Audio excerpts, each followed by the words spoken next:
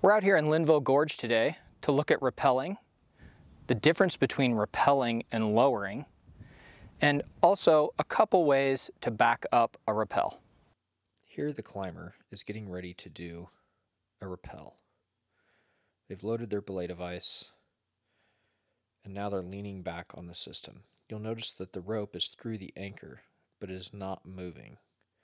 As the climber descends, they move over the rope.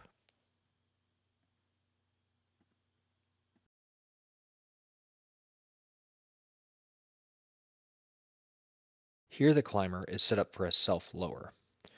The climber is using a GriGri to lower themselves. In lowering, the rope moves through the anchor, as you can see here. The climber also moves over the rope, but the difference is the rope is moving through the anchor, creating a self lower. When we're rappelling, we're trying to create friction on the rope. If we just hold onto the rope, it'd be really hard to go down it, it would burn our hands. So we need some sort of device that creates friction or bends. So when we use a plate style device like this Petzl Reverso, we can clip it to our harness. This device, we put the rope in it, and it actually creates three bends. It creates one where the rope goes in, it creates another around the carabiner and yet another around where the rope comes out. This provides enough friction for us to be able to descend comfortably with our hands.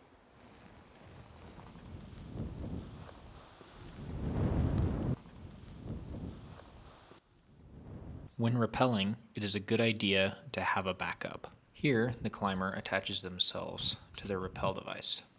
They've extended it out so that they can use a backup or third hand off of their belay loop. Many times these backups are friction hitches, which is just wrapping some sort of cord around a rope. Here you can see the climber is wrapping a cord around the rope to create what's called an auto block. The climber tests it before they start to use it.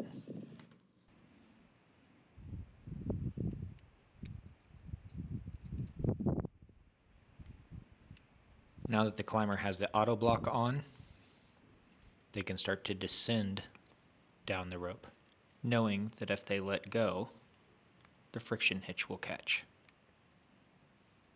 Another way to back up a system is to have two ropes in the system. Here, the climber attaches themselves to the main rope or the rappel line. The other climber has them on a belay line through a Munter hitch. Here, if the climber lets go, then the belay that the other climber has them on will arrest their fall. If we have two climbers, one climber can lower the other climber down the cliff line. This allows the climber that's being lowered to have their hands free. Here, we also would like to back this up.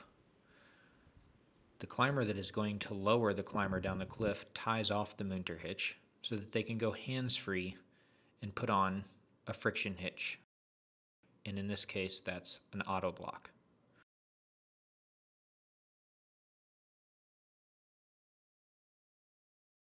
Once they get this on, the climber could then let go and not let the other climber fall.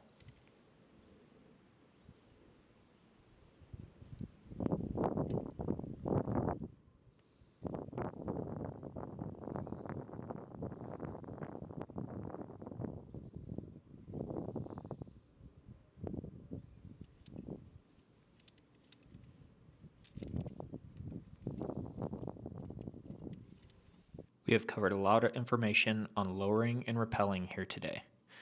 Make sure you practice this in a safe environment.